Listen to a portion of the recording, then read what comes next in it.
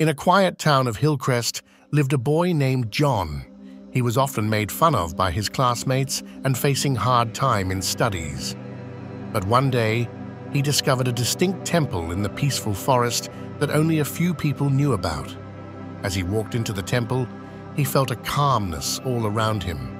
The air felt like it had a lot of wise feelings in it. And in the middle of the temple was a wise person named Master Li. He wore special clothes that showed he had been around for a long time, and he looked very peaceful and like he knew a lot. John, who was feeling very depressed and burdened by his problems, looked at Master Li with uncertainty and hope. John, excuse me, Master, I'm struggling with my life and studies. Please help me. I request. Master Li, a wise person who doesn't talk much, signaled for John to sit next to him. The temple made him feel safe and peaceful, like he was surrounded by quiet thoughts. John was able to figure out and let go of his worries and uncertainties. Master Li, who cared about John, gently touched his shoulder to make him feel better. Master Li said, Learning is like a journey with obstacles, but those obstacles can actually help us become better. John understood the wise message without anyone saying it, and it made him feel better when he was feeling sad. To show what he wanted to tell, Master Li grabbed a transparent jar with dirty water inside. Master Li asked him what he can see inside the jar. John looked into the unclear liquid and replied, Muddy water. Master Li put the jar down and waited for the dirt to settle. This made the water become very clear and see-through. Master Li compared mind with water. When the water is calm and still, it becomes clear. Before you start studying, try to find that peaceful and quiet feeling inside of you. Tear fell from John's eyes and went down his cheek. John says that he feels confused and demotivated, doesn't know where to go or what to do. Master Li guided John that while studying, ensure that you remain fully present. If your thoughts roam to past errors or future concerns, gently redirect your focus to the task at hand. Dedicate your complete attention to your studies each time. Also, embrace the process of absorbing knowledge rather than mere memorization. To demonstrate, Master Li presented a sponge and a stone, pouring water over both. The sponge effectively absorbed the water while it effortlessly slid off the stone.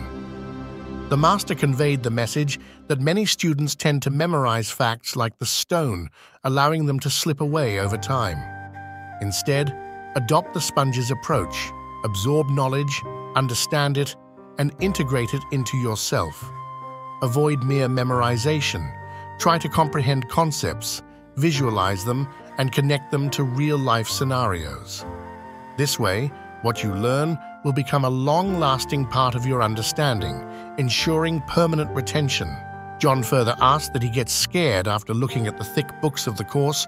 When he sits down to do one task, another one appears in front of him. When he starts the second one, a third one appears in front of him. Sometimes he gets so scared that he closes all the books and puts them away. Master Li took him to the stairs of his temple and said, Let's go to the top floor. John started walking fast, started climbing two stairs at a time. While climbing two stairs at a time, his foot slipped, due to which he got hurt, and he sat there. Master Li explained, Be careful and climb straight, one by one. Soon both of them reached the top floor. Master Li explained that by climbing the stairs one by one, just as we easily reach the top floor, in the same way, pay full attention to one subject. When it is completed, pay full attention to the other one. In this way, you will not feel scared after looking at thick books, and the course will be completed. The work that needs to be done will take as much time as required.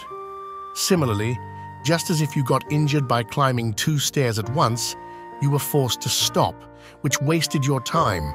Studying all the books at the same time wastes time and also distracts you.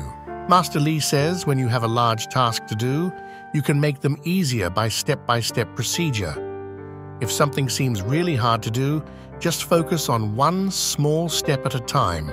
instead of trying to do it all at once. Master Li tells John that it takes time to succeed and it's important to enjoy the process. He should study little by little, take breaks, and let his understanding grow naturally. John had another tear on his cheek, but this time he also had a small smile. After this, Master Li took John to his garden, where beautiful flowers were blooming and sweet fruits were growing. Master Li told John that if we take care of nature, then, like this garden, nature will fill that land with beautiful flowers and fruits. Otherwise, nature fills that place with thorny bushes and forests. It is the rule of nature that something or the other will grow on fertile land. In the same way, we keep our minds active, keep filling them with the latest thoughts so that negative thoughts should not come. John felt better and more determined.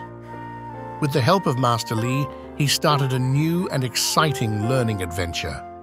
The distinct temple became the life-changing place for John when there he was sad. But it also became an extraordinary place where his tears helped him become resilient and wise, like flowers that grow from seeds. Due to Master Li's teachings, John transformed into a remarkably successful man. Today, he holds a high position in a prominent company. Grateful for the guidance, John visits Master Li monthly, considering him his mentor and idol. When life gets tough, learning, patience, and taking care of ourselves can help. Just like tending to a garden, our minds and bodies need care. Sharing what we learn with others creates a positive impact, making life more fulfilling. It's about growing through challenges, being kind to ourselves, and helping others along the way.